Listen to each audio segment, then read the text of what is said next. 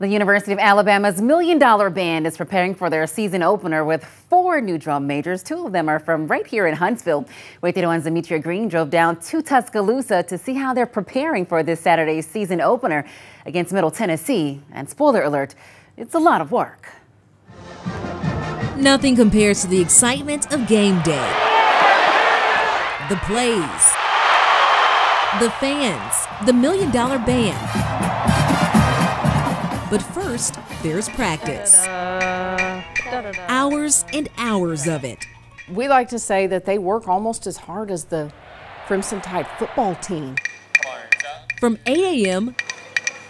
until 9:30 p.m. under the glaring sun and what feels like 100 degrees while carrying 40 pounds of equipment. This is definitely the hottest band camp I've ever had. They've had to deal with the heat a little more than some of the other.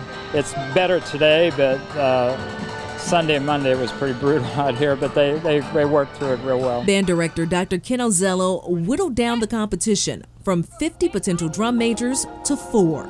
Every year we're trying to move the ball forward, so we try to be progressive and, and just get a little better every year. Huntsville High alumna Ansley Bowles worked her way up the ranks. Go Big Red, Roll Tide. From cleaning the band's dirty uniforms to here, the top spot.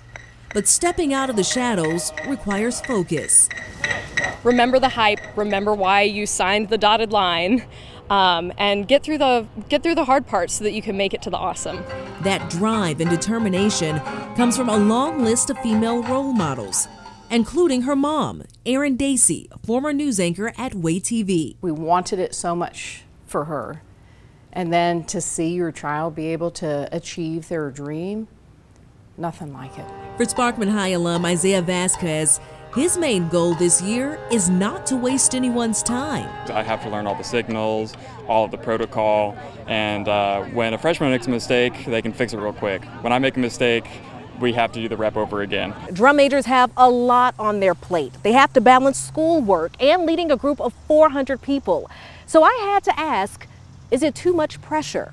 The pressures can become a lot, uh, but personally, I've been here for a long time, so you get used to, okay, you put this in your calendar, you put this in that.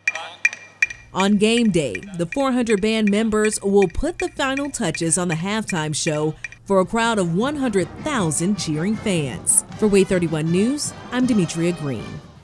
We did check with Auburn's marching band, but none of their four drum majors are from North Alabama.